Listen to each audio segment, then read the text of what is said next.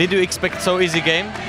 Uh, well, we were prepared that they maybe don't uh, push so hard to our defense, but um, no, no. But it was not easy to say. It was uh, hard work for us, and but it was good in the end. Is something what you, what would you like to improve? Yes, sure, we have to improve our pass quality.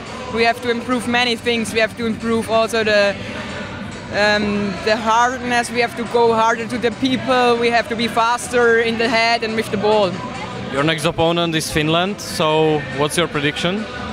Well, uh, they want to go to the final. We want to go to the final. I expect a hard game. Was efficiency the main problem for Norway in this match? Uh, one of the problems, I think it's been our problem the whole tournament, uh, to be honest, uh, and also today.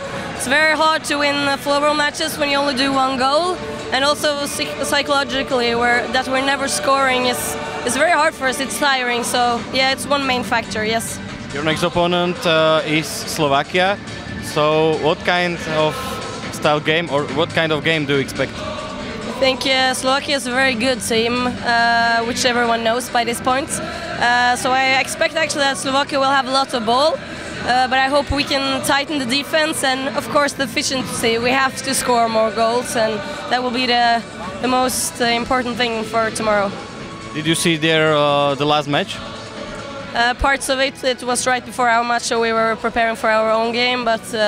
Uh, some points. It's a very strong uh, result against Finland, and but we already know that Slovakia is a very good team. It's not a surprise for us. So, so uh, but we have watched Slovakia played a lot, so we we know what we have to do.